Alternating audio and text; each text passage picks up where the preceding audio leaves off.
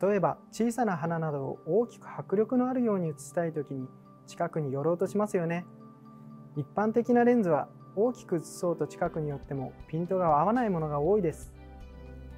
さらにピントがあったとしても近くに寄るほど画質が悪くなるという現象が発生してしまいます。マクロレンズはそのような課題を解決するために近くに寄ってもピントが合い綺麗に映るように設計されたレンズなんです。マクロレンズの設計はズームレンズの設計と似ています。マクロレンズの設計は撮影倍率を大きくするためにズームレンズのように各レンズを大きく移動させます。しかし手動で動かすズームとは違い素早さと正確さが求められるオートフォーカスは特別な設計が必要になります。そこでオートフォーカスに対応したマクロレンズは動かすレンズの重さや移動軌跡はもちろんレンズの保持方法や制御方法を含めて素早さと正確さを実現するための技術をたくさん盛り込んで設計しています。このレンズは安心してマクロ撮影ができることと幅広い表現力を実現するために1.4倍を目指しました。等倍までしか撮影できないレンズだと等倍の位置から少しでも被写体が近づいてしまうだけでピントが合わずに失敗した写真になりやすいです。そのため等倍の写真を撮ることが意外と難しいです。しかし1.4倍まで撮影できるレンズにすることで撮影できる距離に余裕が生まれふと被写体が近づいたとしてもピントがしっかり合い安心して撮影することができます。さらに等倍以上で撮影すると目で見ている世界とは全く違う幻想的な世界を描写することができます。美しいマクロの世界をぜひこのレンズを通して体感していただきたいと思います。このレンズは大口径とショートバックフォーカスを生かしフォーカスレンズの可動域を最大限広げました。一般的なマクロレンズの光学系は長い歴史とともに洗練されフォーカスタイプや IS タイプ絞り位置がある程度決まっています。しかし今回1.4倍を実現するためには既存タイプからの脱却が必要不可欠でした。このレンズは従来のマクロレンズとは違い IS や絞りを前側に配置しフォーカスと住み分けマウントギリギリまでフォーカスレンズを動かすことで1.4倍を実現しています。まず最初に常識にとらわれず常に一から考えることが大切です。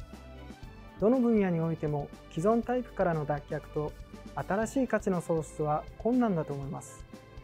実際にこのマクロレンズは既存レンズを参考にした設計ではなく1枚の凸レンズから設計を始めたことによって今回の配置にたどり着きました。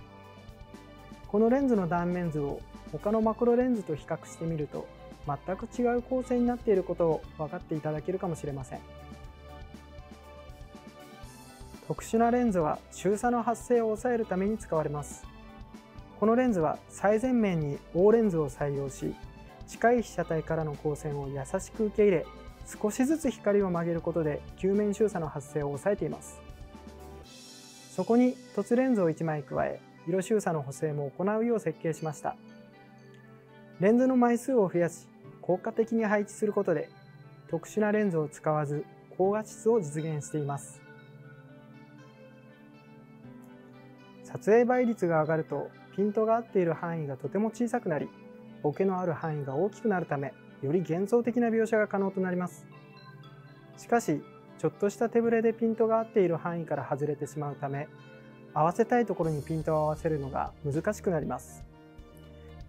それから被写体が大きく映るということはカメラの手ぶれの影響も大きいことになります。ですから1.4倍の撮影になると高精度なオートフォーカスと強力な手ぶら補正が必要となるのです。このレンズは手ぶれ補正レンズを動かした時の周差変動をより小さく設計しました。さらにカメラのボディ内手ぶれ補正と強調しより強力な手ぶれ補正も実現しています。1.4倍を実現するためには複数のレンズを大きく移動させる必要がありました。このレンズにはナノ USM というキヤノン独自の超音波モーターを搭載し高速で高精度なオートフォーカスを実現しています。このレンズはマクロ撮影だけではなく風景やポートレートなど全ての撮影領域で高画質を維持できるよう設計しました。このマクロレンズはナノ USM を搭載しているので静かで素早いオートフォーカスとなっているため快適な動画撮影も楽しめます。さらに動画撮影時にはフォーカス時の画角変化いわゆるブリージングが気になるのですが新しいフォーカスタイプを採用することでブリージングも抑えられた設計となっています。ナノ USM により自由にフォーカスの軌跡が変えられるようになったことで SA と呼ばれる球面周差をコントロールすることを思いついたのがきっかけです。それは画質を悪くするだけだった周差を高精度にコントロールすることによって動きを柔らかく表現したり逆に硬く表現したりといった表現の自由度を上げられるようにしたのです。私は小さなエビとメダカを取っています。実は最近子供がメダカを飼ったことをきっかけに家で水槽を作るようになりました。水槽作りは大人も楽しめて数が4つに増えてしまいましたが